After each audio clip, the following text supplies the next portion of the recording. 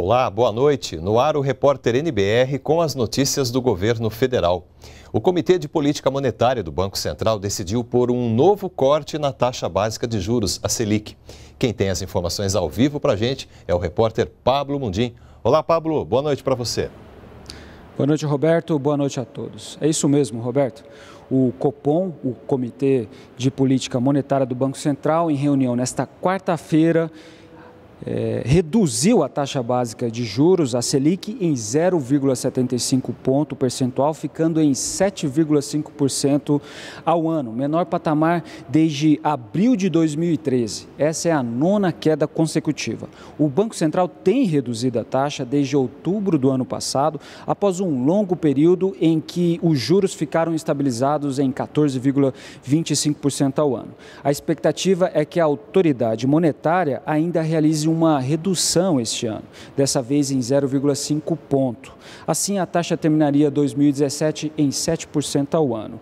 Esse patamar de juro traz, de forma direta, impactos sobre os custos de financiamento das empresas e, da e das famílias.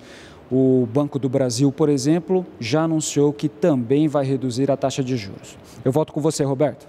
Está ótimo, Pablo. Obrigado pelas informações. As descobertas de petróleo na camada do pré-sal estão entre os anúncios mais importantes da última década e colocam o Brasil em uma posição estratégica frente à grande demanda mundial por fontes geradoras de energia. E nesta sexta-feira será realizada a terceira rodada de leilão do pré-sal. A previsão é de 100 bilhões de reais em investimentos, com a geração de 500 mil empregos diretos e indiretos nos próximos 10 anos. Entre as áreas a serem leiloadas está a Bacia de Campos, no Rio de Janeiro. Nós vamos agora conferir uma reportagem especial sobre a cidade de Macaé, que já é uma grande produtora de petróleo e que agora tem a expectativa de melhorar a economia do município a partir dos leilões desta semana. Macaé fica no litoral norte do Rio de Janeiro. Desde o final da década de 70, com a descoberta de petróleo na bacia de Campos, a cidade se desenvolveu economicamente. Tanto que foi chamada de capital brasileira do petróleo e comparada a Dubai, no Oriente Médio, também rica nesse produto. A gente viveu uma época de ouro, né? Durante 20 anos, né, Macaé era uma grande referência né, em negócios, né, principalmente negócios offshore ligado ao segmento de petróleo. E era uma cidade né, que era invadida né, por profissionais né, que vinham prestar serviço, que vinham trabalhar né, nesse mercado, inclusive com um número expressivo de estrangeiros. A gente tinha aí 20 mil estrangeiros em Macaé, né, tanto da América quanto da Europa. A riqueza veio dos royalties, espécie de pedágio pago pelas empresas na exploração do petróleo. E foram tantos royalties que a cobrança passou a responder por 50% do orçamento de Macaé. Em 2011, por exemplo, a Federação das Indústrias do Estado do Rio de Janeiro colocou o município na lista das 167 cidades do país com alto índice de desenvolvimento municipal. Petróleo é muito importante, sim, para a economia da cidade, porque movimenta muito a cadeia de fornecimento de bens e serviços, a geração de emprego e também a arrecadação para o poder público. O campus do Instituto Federal Fluminense em Macaé é um exemplo de que, no município, tudo gira em torno do setor. Os conteúdos são voltados para áreas de apoio à exploração de petróleo. Marcos Antônio é professor do Instituto há 20 anos e explica por que os cursos atraem tantos estudantes. A cidade se desenvolveu nos últimos aí, 20, 30 anos em função da, da exploração de petróleo. Então a economia de petróleo movimenta todo, não só a atividade fim, que é a exploração de petróleo e gás, como toda a cadeia de serviços que existe em torno dessa, dessa operação.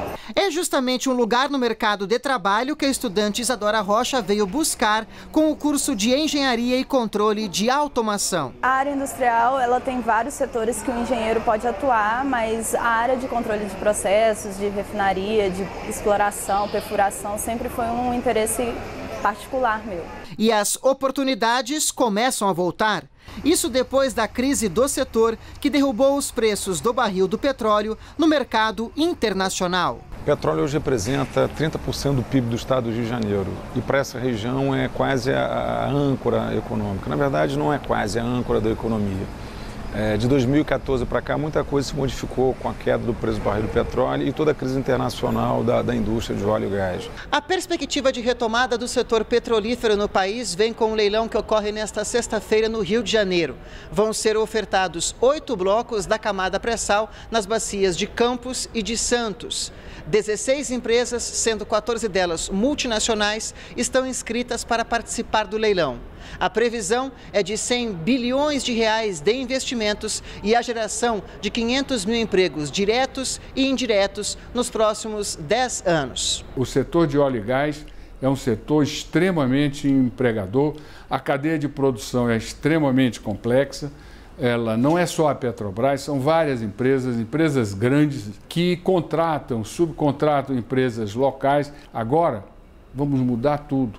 Vamos rever aquelas mesmas pessoas, aquele mesmo ambiente de confiança no negócio, aquela mesma possibilidade de emprego, aquela diversidade na prestação de serviço e melhora todo o ambiente na cidade. Então, é, esse vai ser um leilão é, que remarca definitivamente a trajetória de reencontro do Brasil com seu destino, que é garantir a seus filhos, aos brasileiros, emprego e renda. Para a Associação dos Moradores do Bairro Morada das Garças, em Macaé, o leilão vai ser positivo para a retomada do crescimento econômico do município. Acredito que, que o leilão venha trazer benefícios para a cidade, né? porque, como eu falei, né? o, o, o petróleo está lá, e tem empresas querendo explorar, né? Não é, a crise não é porque acabou o petróleo.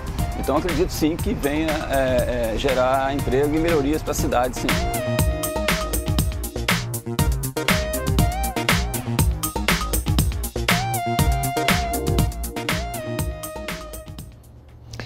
Fogo na Chapada dos Veadeiros, em Goiás, está sob controle.